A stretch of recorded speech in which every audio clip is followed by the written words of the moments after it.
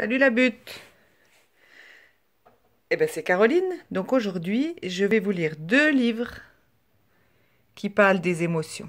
D'abord, la couleur des émotions. Et après, je vous lirai Fanette et Mal luné.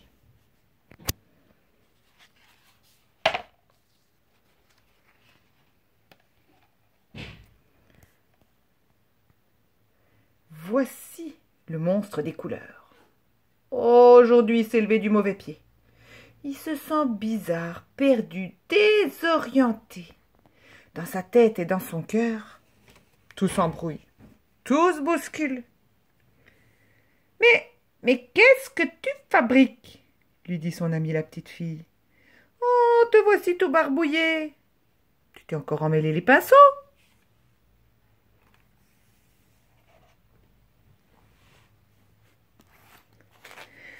Regarde-moi cette pagaille. Tes émotions sont sans dessus-dessous. Ton cœur est un vrai fourre-tout. Comment veux-tu t'y retrouver?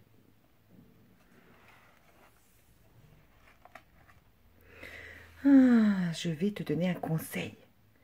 Les émotions commencent par les séparer, puis range-les chacune dans un flacon étiqueté. Ainsi, tu verras plus clair. Si tu veux, je peux t'aider à reconnaître, à les reconnaître et à y mettre de l'ordre pour que tu retrouves ton bien-être.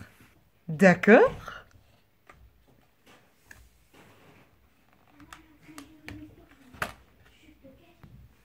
La joie. Mmh, la joie. La joie est contagieuse.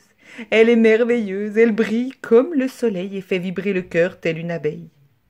Quand tu es joyeux, tu as envie de rire de jouer, de sauter, de danser.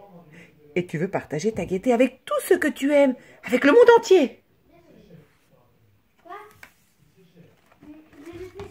La tristesse. Oh, la tristesse nous accable. Immense comme la mer, mélancolique comme un jour de pluie. Elle refroidit notre cœur et l'engourdit. Quand tu es triste, tu n'as envie de rien. Si quelqu'un te manque, tu te sens seul, abandonné. Parfois, des larmes coulent de tes yeux.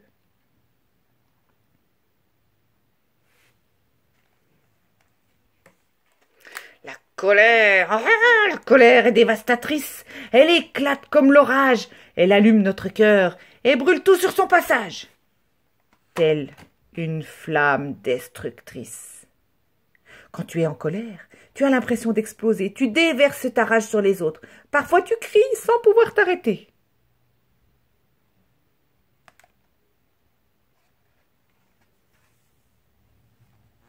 La peur.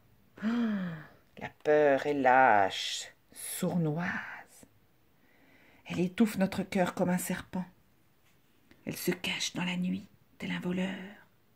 Quand tu as peur, tu te sens tout petit, tout faible, incapable d'agir posément. Et tu peux devenir méchant. Hum, la sérénité. La sérénité nous berce. Elle est douce comme une maman, légère comme une feuille au vent. Quand tu es apaisé, ton cœur respire lentement, la vie se déroule aisément, tout te semble facile.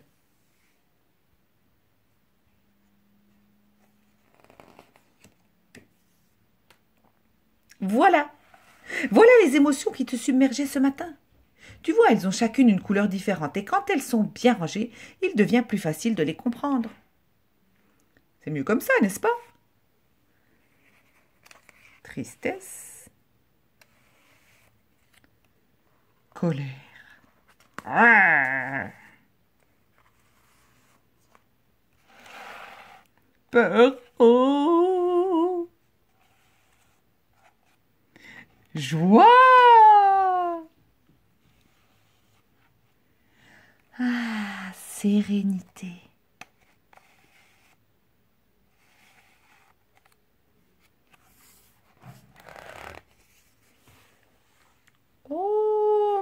Que t'arrive-t-il à présent? Oh. Voyons, peux-tu me dire ce que tu éprouves? Hein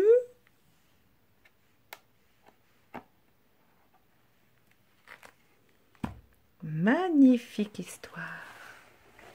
Et je vais vous en lire une deuxième qui s'appelle Fanette est mal lunée.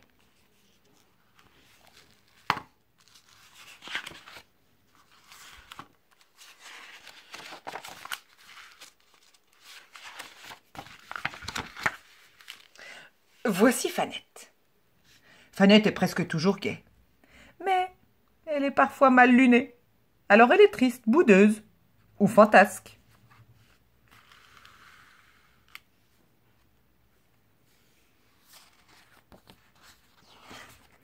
Alors celui-là aussi, il est abîmé. Hein. Il était à moi quand, quand j'étais petite. C'était un livre qui était à moi. Il est cassé. Quand Fanette s'habille, bon, elle met son pantalon à l'endroit. Elle enfile les jambes comme tout le monde. Mais, quand Fanette est mal lunée, elle se coiffe de son pantalon et trouve cela plus drôle.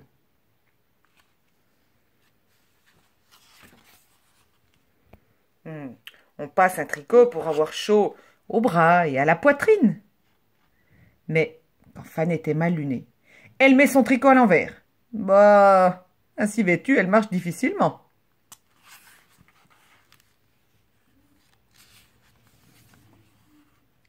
Quand Fanette se broche les cheveux, ceux-ci sont doux et bien coiffés. Mais Fanette mal lunée aime avoir les cheveux en bataille.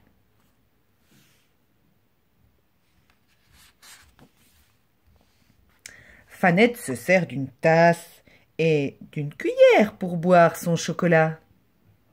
Quelquefois, quand elle est mal lunée, elle veut manger son chocolat, elle se sert d'une assiette et d'une cuillère.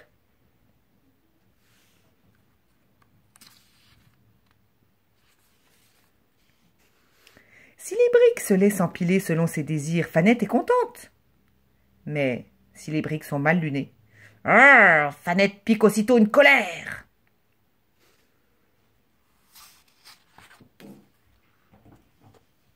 Quand Fanette veut être gentille avec son petit frère, elle lui prête son nounours. Mal luné, Fanette ne permet pas à son petit frère de jouer avec nounours.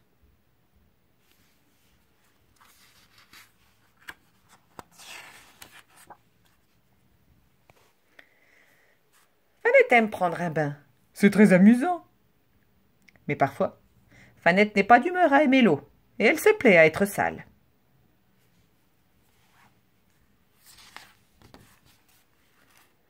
Certains jours, Fanette écoute papa lorsqu'il est temps d'aller au lit. D'autres jours, Fanette est mal lunée. Elle se cache et n'écoute plus rien du tout.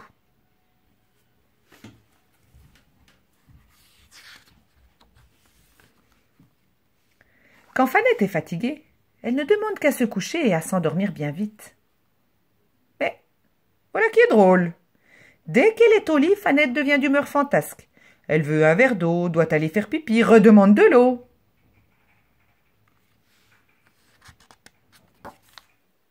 mais au bout d'un moment, c'est la fatigue qui l'emporte, et mal lunée ou pas, Fanette s'endort.